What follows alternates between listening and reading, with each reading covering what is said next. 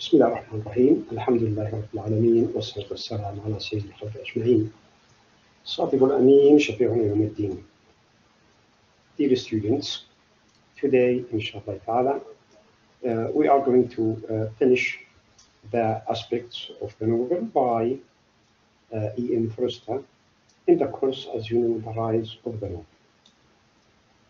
In the previous session, you remember, we had some aspects discussing, explaining, and today we should finish the, the rest of these aspects or elements of the novel related to the views, to the opinion or perspective of E.M. Forster. We talked about E.M. Forster a little since he is a great novelist. At the same time, a great writer or essayist. He made several lectures in Cambridge, uh, mentioning his views from his experience as a novelist, as a learner also. Okay, and also uh, you remember that we give a short introduction of the aspects of the novel, which were uh, lectures collected later on on a book, as you understand. Then I remember that I asked you to make a, a little presentation, small presentation or short presentation about the author biography, about A.M. Forster, to take ideas, information, data from uh, the book uploaded, aspects of the novel, and also from any other source you can get. Uh, you know, we talked also about English literature, focusing mostly on English novel, uh, British novel or American novel. Since we speak about what international uh, literature in general, particularly uh, the novel. In the summary of his lectures, we realized that uh, he had made seven elements, seven aspects or points. Okay. Introduction to introduce his views.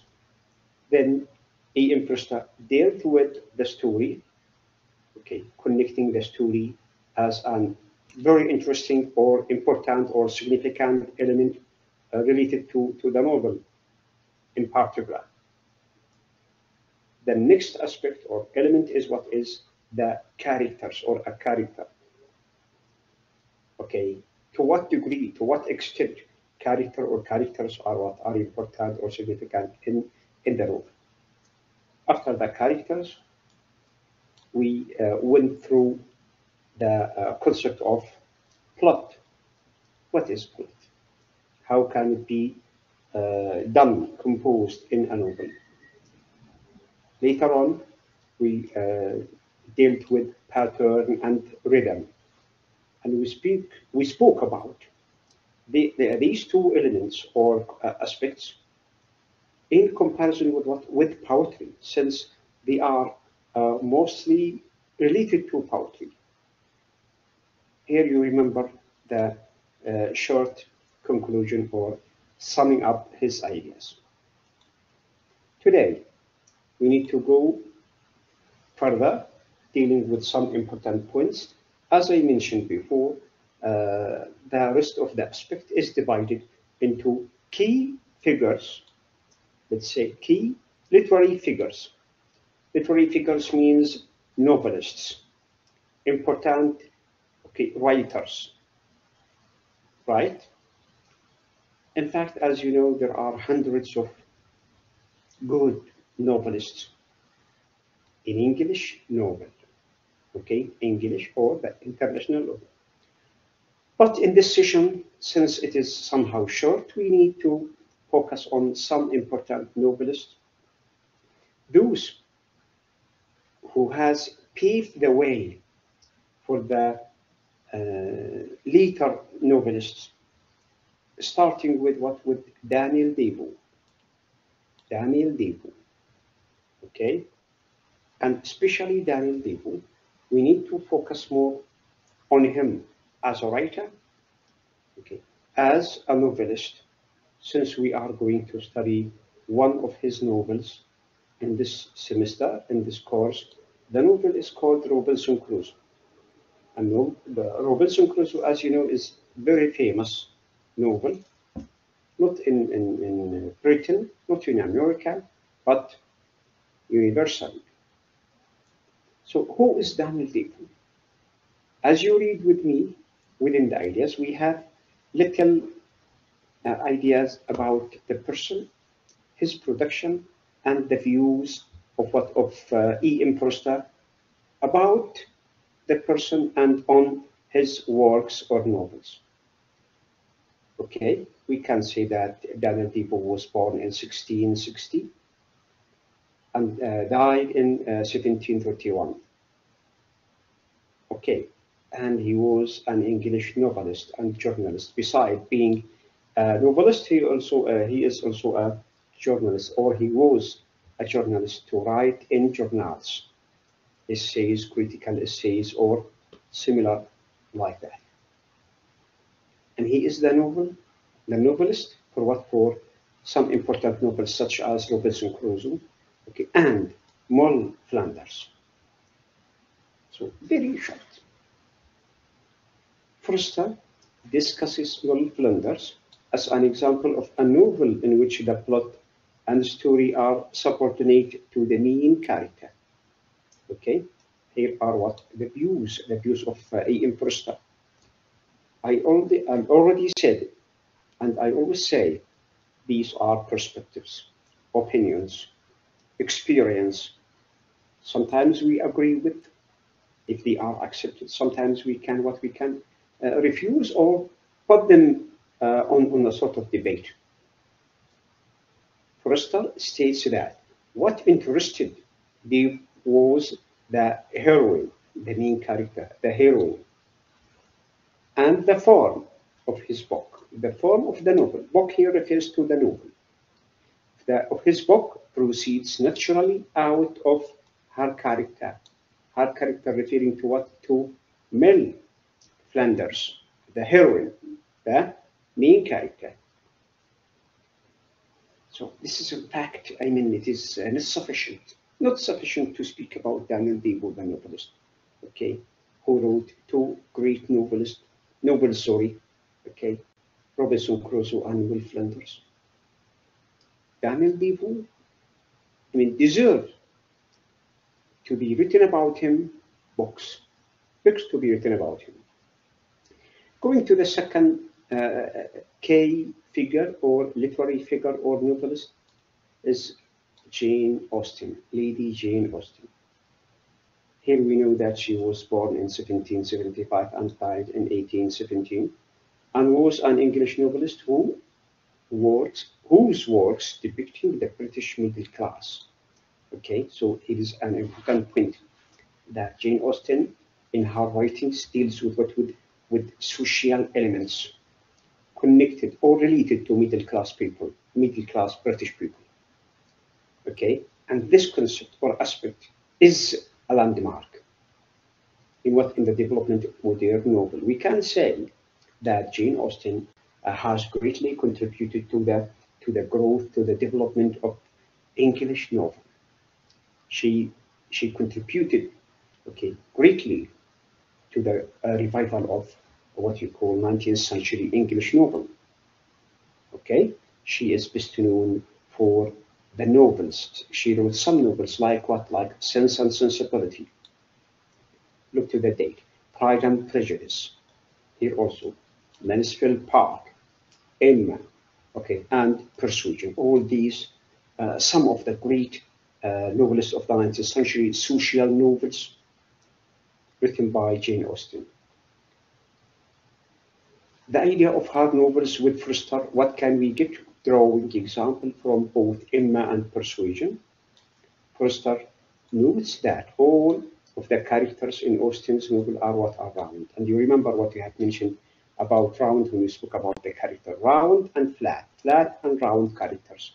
So round means active, appealing, okay, has a great role he or she has great role in what in the society or in the uh, uh, what you call action of the novel. The next one is Henry Fielding. Who is Henry Fielding? Okay, okay. What is the ideas mentioned by Forster about him? Like that. So he was a British writer. He is a British writer, considered to be one of the inventors of English novel. In other way, we can see he is the father. He's uh, he is one of the he is one of the fathers of what of uh, English novels. His best known works include some novels like what like Joseph Andrews, Tom Jones, and many others. I mean, he is what great novelist. Of course, we know that. Forster mentions Fielding as a novelist who successfully creates round characters. So Forster supports uh, the idea that the characters of uh, Fielding is what is round. It means they are what they are appealing. They are active. Okay, they have great roles. Okay, within the the action of the novels. In a discussion of point point of view, Forster criticizes Fielding, and I, I'd like to remind you about criticizing that the word criticizing should have two directions parallel directions, mentioning, showing, presenting positives and negatives. If there are positives to be shown, if there are uh, negatives to be assessed. Okay, for Forster, uh, criticizes Fielding for his intrusive narrative voice. Here is one of the ideas that uh, Forster's emphasis on Fielding, which is no better than barroom uh, chattiness. It is an opinion anyway. It is an opinion. Sometimes we agree if the argument is accepted. Maybe it is returned to him.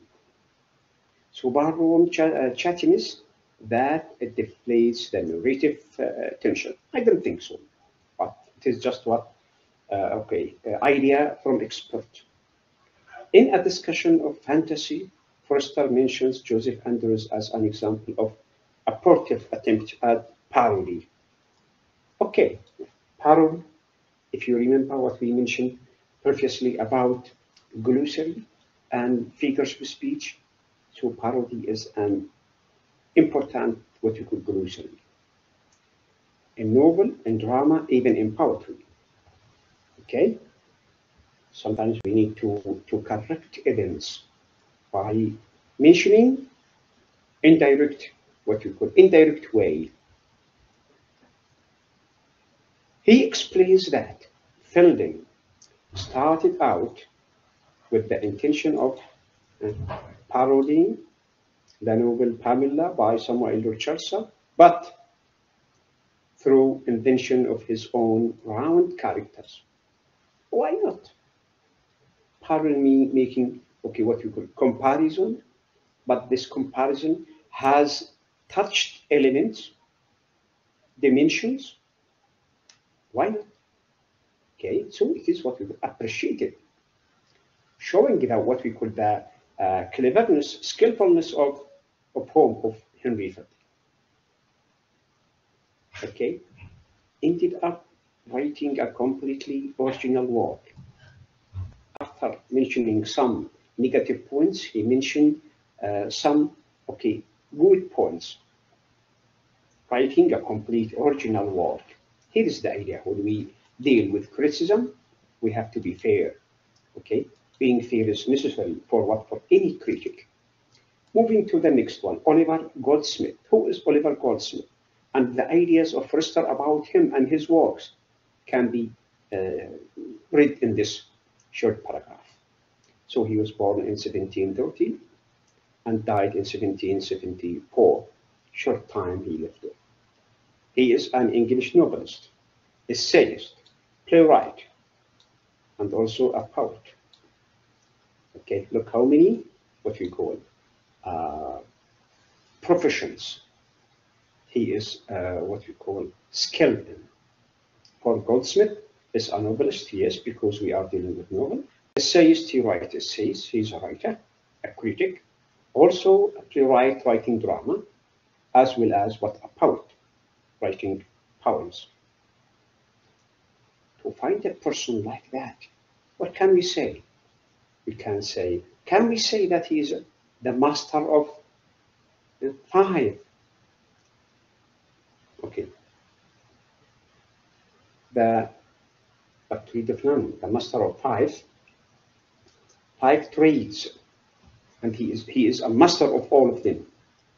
Not like the maxim or proverb says, master of all trades, a master of seven trades, the jack of seven trades and master of none. No, yes, I remember it now.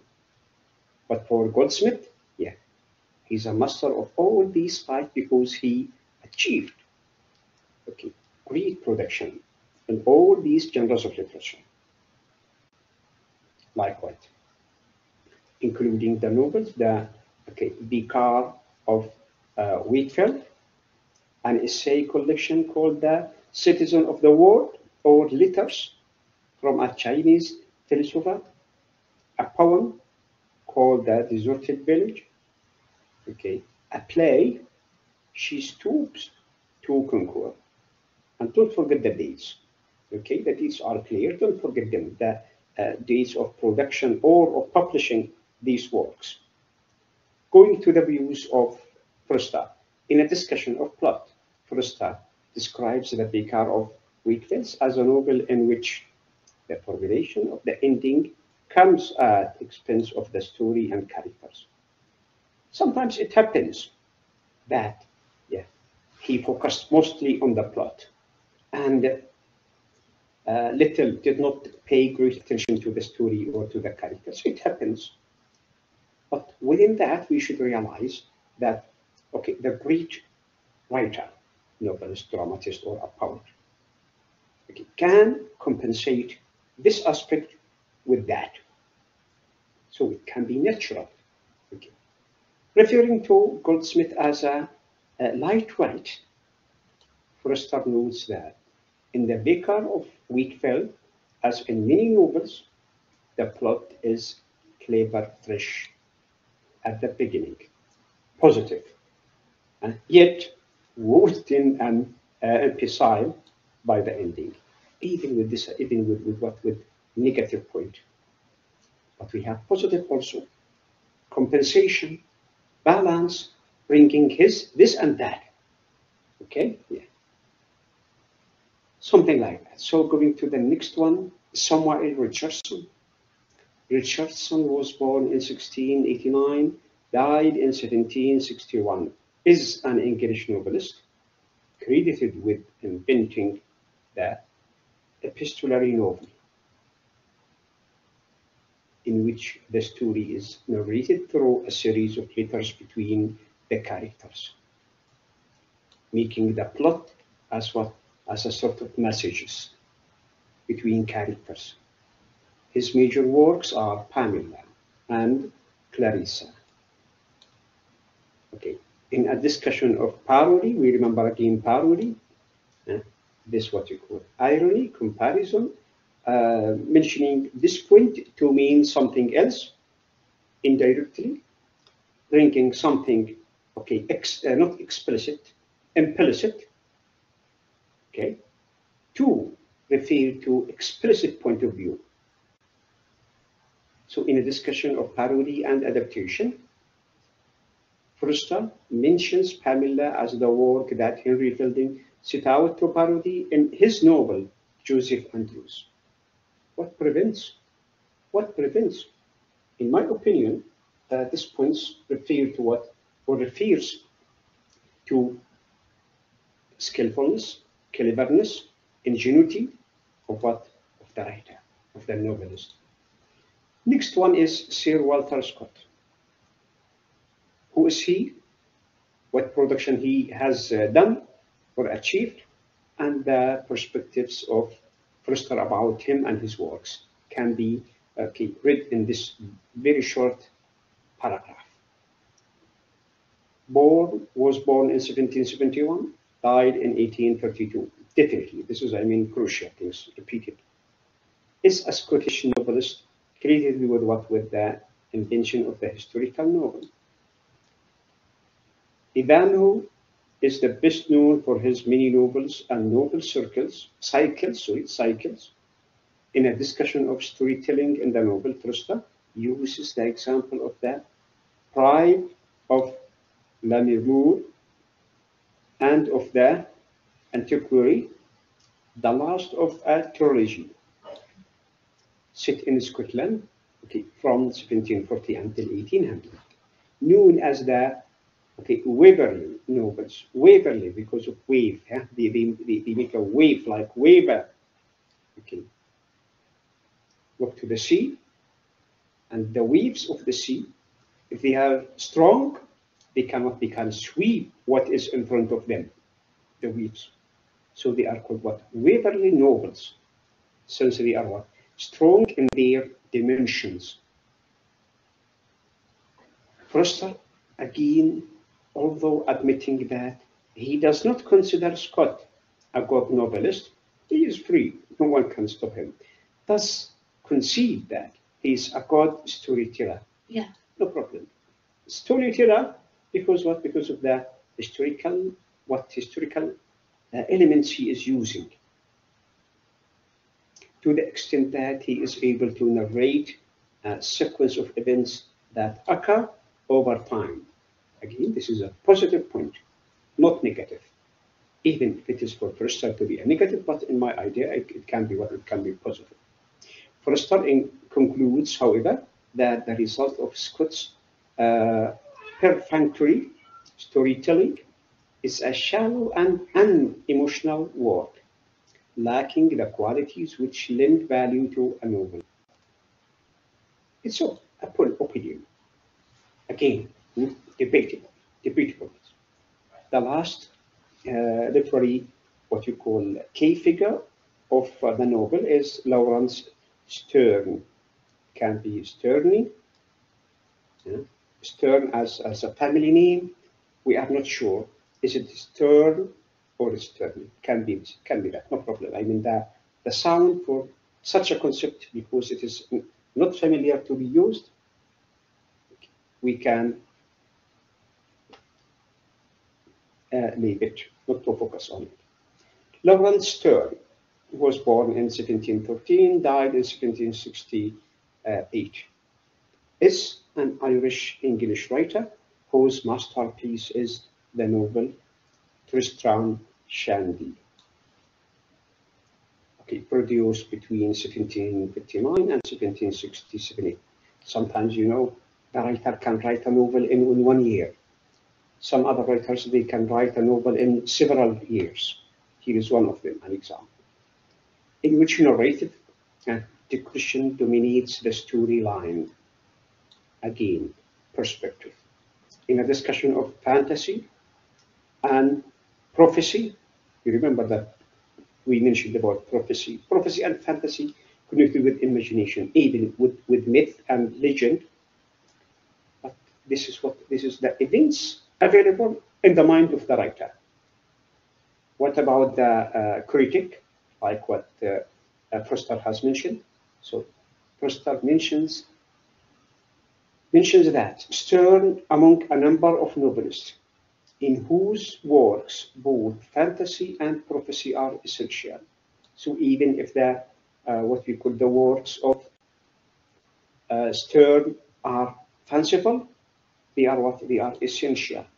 Now it is what we call a fear judgment on the person. The third part of the aspects goes with what with the themes. Okay, you know the meaning of theme, and also according to Forster, what are the subtopics connected or related uh, to the themes in the novel or the novels of the uh, 16th century, 17th century, until 20th century. The first point is what is the literary critic. Literary critic. We have critic, but not any critic. A critic, analysis, uh, okay, a reviewer, essayist, dealing with what with literature. And what kind of literature? What genre of literature? No. Forster makes comments about his position as a literary critic. So we know that he is a great person, a great literary critic as well as novelist. With respect to literature throughout his lecture series, Okay, correct. His comments on his own critical methods occasionally makes reference to, to claims made by other critics and sometimes cast doubt on the role of the critic in the field of literature. This is natural. Even for the novels of E.M. Forster, one of the greatest novels is uh, A Passage to India, faced many uh, kinds or sorts of what of criticism. So against what? Against and with E.M. Forster. Why? Since those points of what of the critics and the art literary critic, okay, they are various. Okay, the, the the sort of thinking, the sort of understanding of a situation might be diverse, might be different, not should be the same, or should not be the same. For the purpose of his discussion, Forster rejects traditional approaches to literary criticism that focus on tracing historical development and the impact of previous author on later authors in his introduction. Personally, I don't agree with, with this point. That tradition, okay, is an important element to, to the present and to future. If we speak about tradition, but we should not forget what kind of tradition. Is it essential, with great purpose, with great uh, help to the society? Yes. If it is the opposite, yeah, might be not accepted. So Forster also brings up T.S. Eliot's ideas of tradition, okay, in which the critic's job is to uphold the best aspects of literary tradition. Why not? Yes, this is correct. Now there is what you call controversy. To go with and to go against. To go against first and to go with it.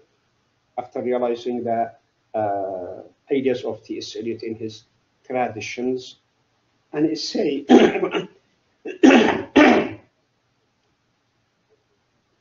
an essay on literature, especially drama, okay, and poetry. So first, Forster dismisses this as being impossible right way, right away. Nonetheless, he does concern, nonetheless, he does concur with Eliot that a critic must view literature as a whole rather than as it may be limited by the restrictions of the chronological timeline. I totally agree with T.S. Eliot more than the ideas E.M. Forster. Okay, but let's finish. Forster makes sporadic references to various literary critics throughout the text, usually to offer a refutation. Why refutation? Refutation should be what should be on what on an argument. This argument should be accepted by the mind and also by what? By the concept of literature.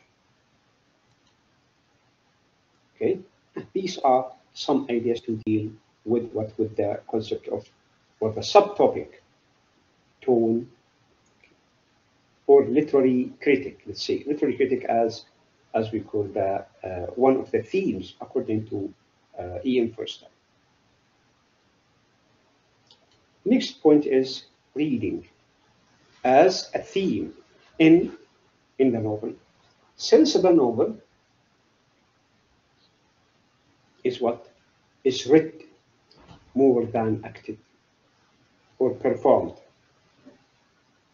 In his series of lectures on the book, book means novel, as I mentioned, Forster discusses both the novel's analysis and what he believes are the demand the book makes of its audience. According to him, a reader must be intelligent and have a good memory in order to appreciate a plot. You remember what we have mentioned about appreciation? Okay, there should be before that, there should be what we call understanding. Okay, yeah, for what? For a reader, with what? With intelligence, with cleverness. with grasp of mind, thoughtful mind. So first, Forster explains that while a reader's uh, curiosity may be what Pickwick's, because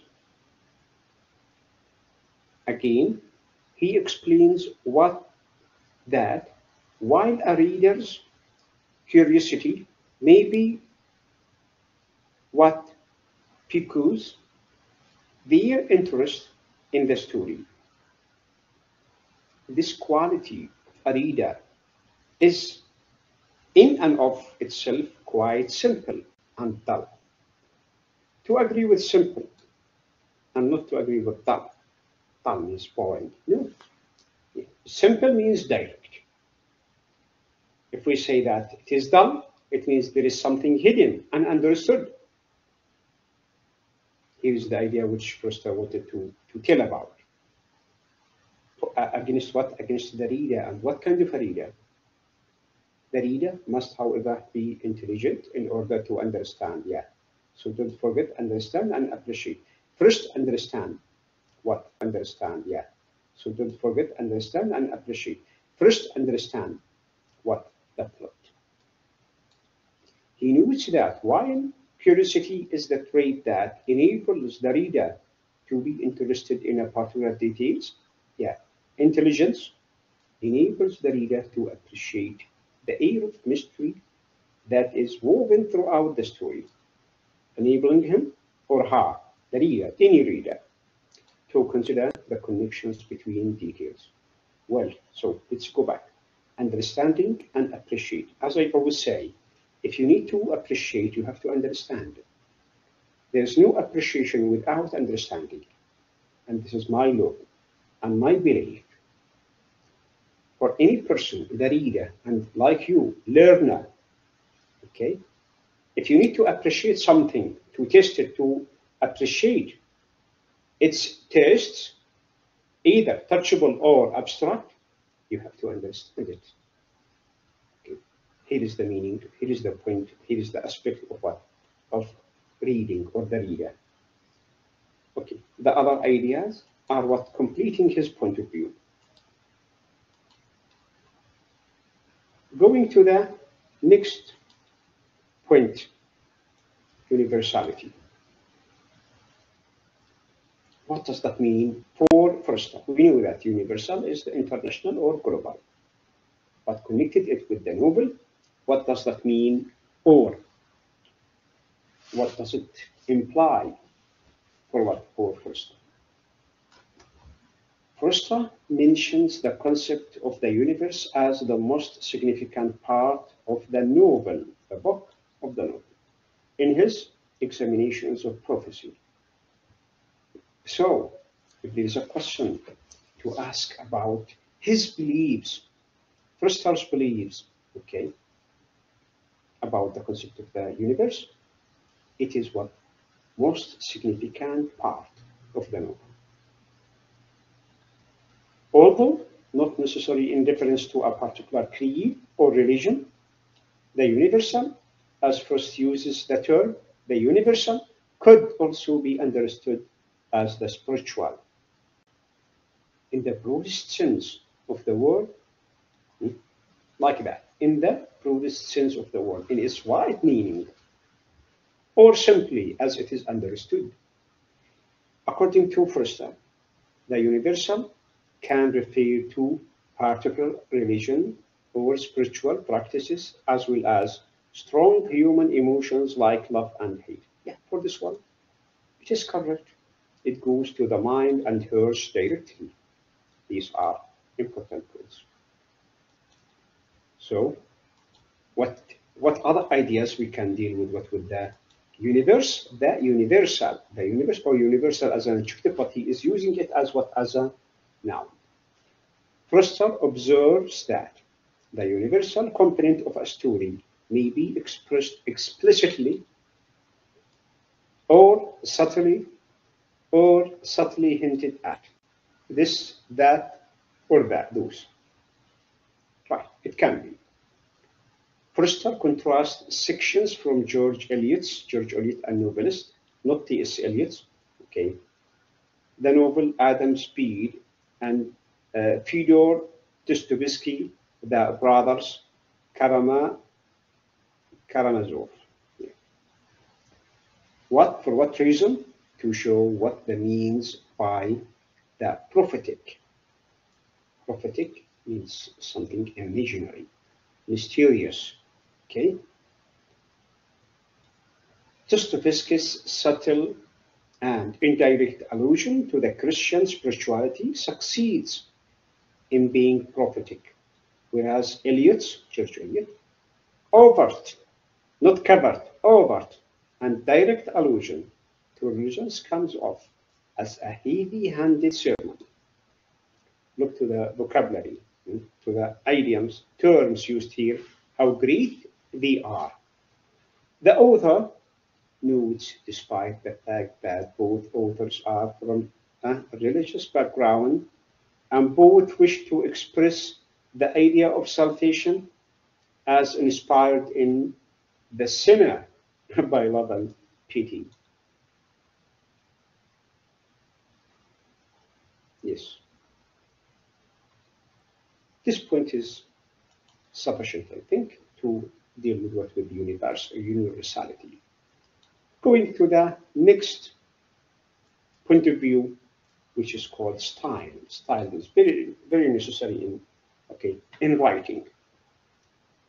And it is what we call natural differences in writing among what, among those key figures, among those uh, novelists to write. Everyone is different from the other in what, in his style, in her style of writing dealing with the first point according to uh. The first point related to style in novels is tone and structure. Tone, the intonation, the manner of events, through language, of course, and structure. So they are what connected with what with the with the language and structure. The fact that aspects of the novel is a printed version of a series of lectures originally written and delivered verbally by the author before an audience of college and university students and professors in Cambridge. Okay, what is the result?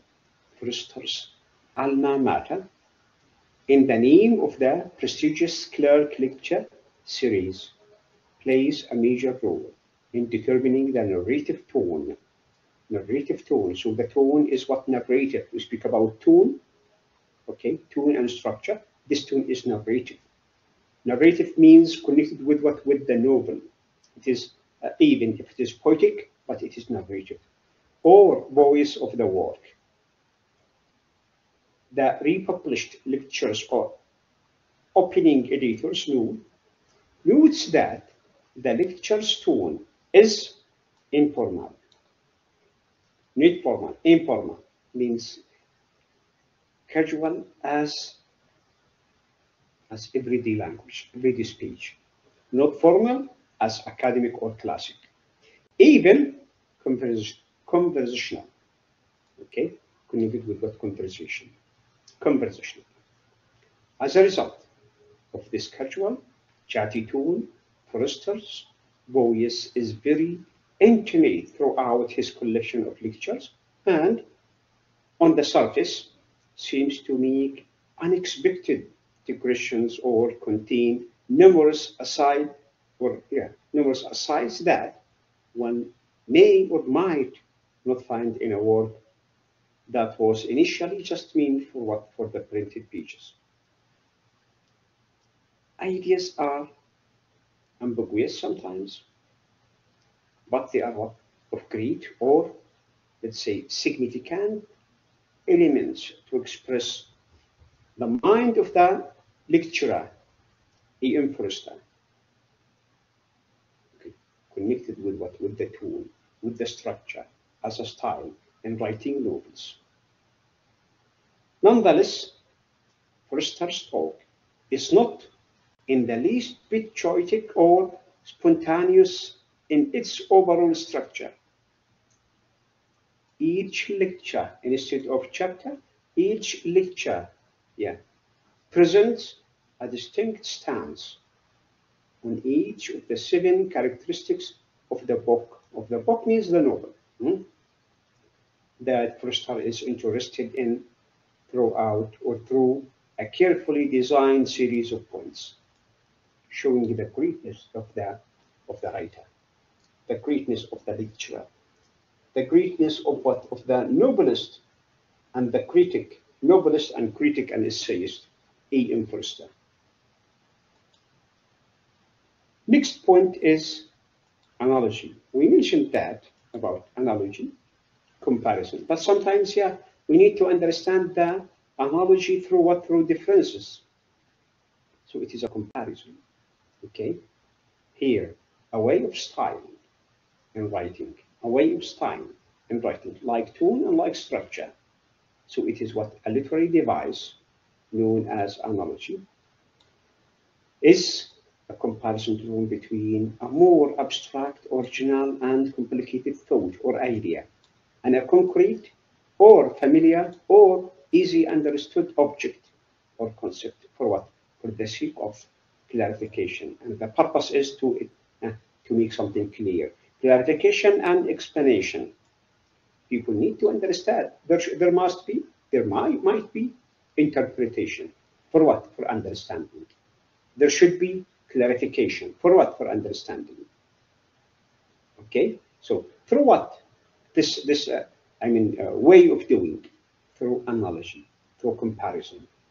As we mentioned here, so between a more abstract, original, complicated thought or idea, and concrete, abstract and concrete, original or familiar, or easy understood object or concept for the purpose of understanding, for the sake of understanding. Forster used the concept of all authors from throughout history writing concurrently side by side in a large circular chamber, circular, what we say, room, similar to the British Museum Library. Here we have what we call abstract idea as the primary comparison to begin and end aspects of the novel. Yeah, starting and ending his his uh, lectures, his book, as if in comparison, as if in making one similar to the other. At the same time, they are different, not the same, not similar even, but using what using analogy to compare for for the purpose of what of making something clearer. For example, if you need to not to mention a lady, for example, and you need to show or to express the beauty of the lady, what can you say? You can say, oh, look, the moon is walking. The moon is walking. Like abstract and concrete. Abstract and referring to something. For what? For expressing idea, making the idea clear. You don't want to say directly that point. By using this parallel, Forster demonstrates or shows his claim that all authors adhere to the same fundamental creative principles, and that both novels and the novelist, both of them, huh, that the writer and the written work are unaffected by differences in culture and history. It depends. Maybe, maybe not. By using this broad analogy, Forster makes it obvious that he is more interested in the novel's universal aspects than in its historical evolution or regional diversity when discussing it. It's okay. We can say he is free to, to what to believe in universality more than regional.